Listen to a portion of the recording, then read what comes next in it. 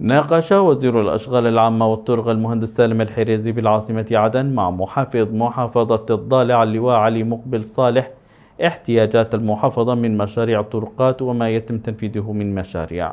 وأكد وزير الأشغال اهتمام الوزارة بتنفيذ مشاريع التنموية بقطاع الطرق بمحافظة الضالع وعموم المحافظات ومشيرا إلى أهمية تحسين البيئة التحتية في هذه المناطق وذلك لضمان سهولة التنقل وتعزيز التنمية المحلية. موضحا ما تم إنجازه من مشاريع التي استهدفت تأهيل وصيانة الطرق الرئيسية والفرعية وبتمويل من صندوق صيانة الطرق والجسور وتنفيذ المؤسسة العامة للطرق.